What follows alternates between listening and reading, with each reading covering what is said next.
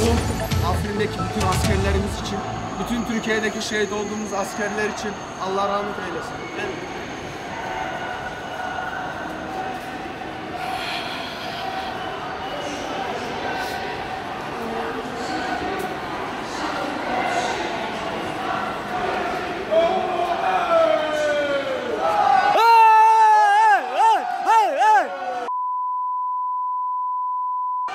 Açılmışsın Türkiye!